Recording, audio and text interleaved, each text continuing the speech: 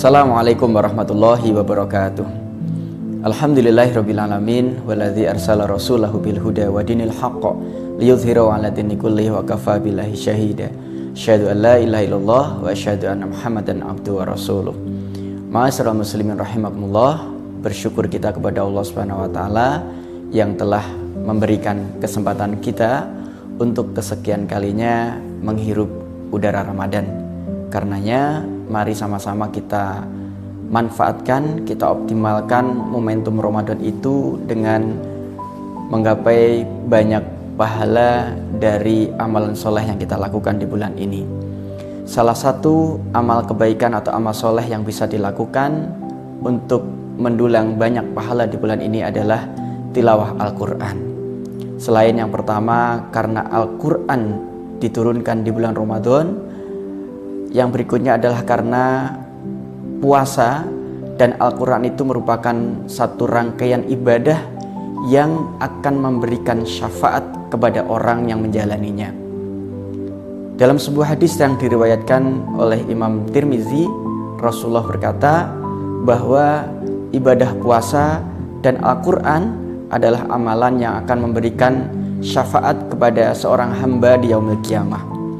Berkata puasa kepada Allah, "Wahai Allah, karenaku orang tersebut sudah menahan diri dari makan nafsu dan syahwatnya. Karena itu berikan syafaat kepadanya." Kemudian yang kedua Al-Qur'an juga berkata, "Duhai Allah, karena aku dia sudah menahan ngantuk untuk membaca aku, karena itu berikan syafaat kepadanya." Ma'asyiral muslimin rahimakumullah, karenanya di dalam bulan Ramadan ini sebagaimana dicontohkan oleh para sahabat dan salafus soleh terdahulu mereka berlomba-lomba memperbanyak tadarus Al-Quran. Dalam artian mulai dari membaca atau tilawah kemudian mentadaburi dan bahkan banyak di antara mereka menghatamkan Al-Quran dalam waktu yang tidak lama. Misalnya dalam sebuah riwayat pernah diceritakan Utsman bin Affan dalam kesempatan bisa menyelesaikan dan menghatamkan Al-Quran dalam satu rakaat witirnya. Demikian juga sahabat yang lain misalnya Abu Hurairah itu bisa menghatamkan Al-Quran dalam waktu sehari semalam. Dan bahkan banyak sahabat-sahabat yang lain demikian juga mereka menghatamkan Al-Quran sebanyak-banyaknya.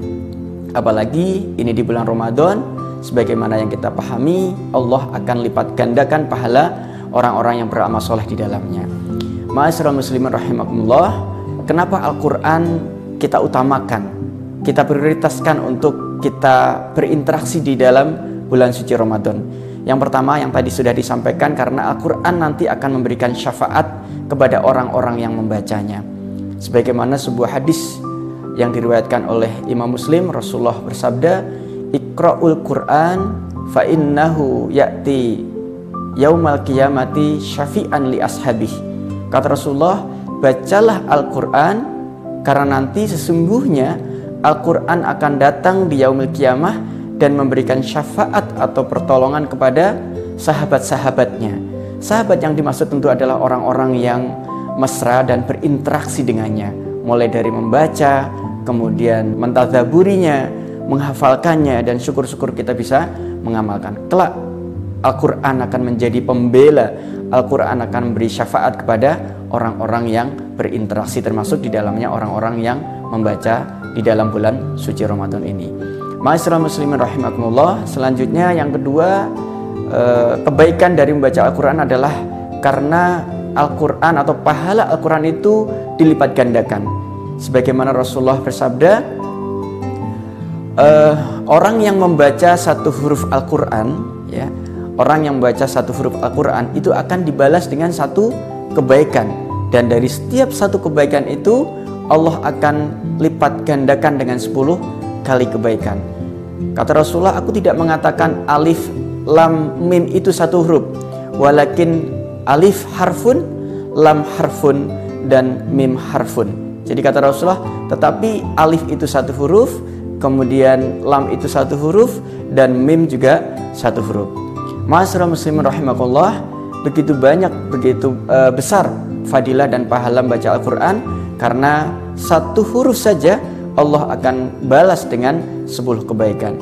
Bagaimana kemudian ketika kita mampu dan berhasil menghatamkan Al-Quran selama bulan Ramadan.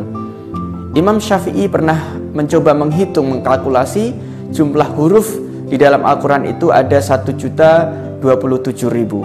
Kita bisa kebayang, kita bisa menghitung bagaimana begitu banyaknya pahala yang akan kita dapatkan ketika kita bisa dan mampu menghatamkan Al-Quran selama bulan Ramadan.